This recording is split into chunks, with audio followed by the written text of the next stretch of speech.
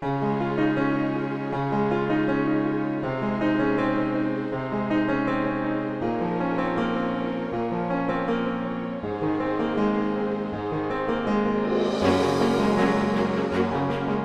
one hand, while fresh and unique pairs like Shahrukh Khan, Alia Bhatt, Aishwarya Rai Bachchan, Ranbir Kapoor, Kareena and Arjun Kapoor are being seen on screen in Bollywood, in the coming time, fans will get to see real-life couples and alleged lovebirds on screen.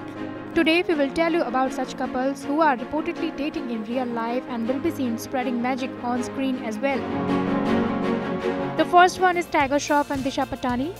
While it is known to all that Tiger Shroff has been roped in as one of the leads for Karan Johar's Student of the Year 2, there are reports that his alleged girlfriend Disha Patani will be seen romancing him in the sequel to 2012 film.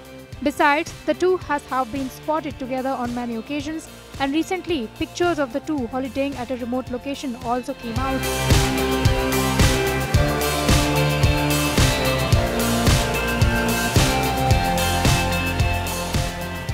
Then there is Deepika Padukone and Ranveer Singh. This much in love couple set the screen on fire with their magical chemistry in films Goliyon Ki Ras Leela, Ram Leela and Bajirao Mastani and now the two are set to be seen scorching the screen in Sanjay Leela Bhansali's next period drama Padmavati. While the film is yet to go on the floors, fans are already excited about it and looking forward to seeing Deepika and Ranveer again on screen.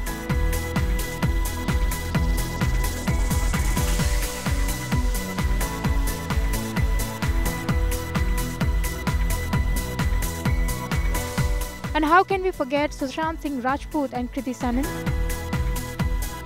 This newest couple in the town will be seen romancing together in the upcoming film Rabta. The reports of the two dating each other came out during the shoot of this film only, which also played a spoil spot in Sushant's relationship with his longtime girlfriend Ankita Lokhande. After some time, Sushant and Ankita separated and the former reportedly started dating his Rabta co-star Kriti Sanon. The two get along with each other really well and we are really looking forward to see them together on screen. IANS report.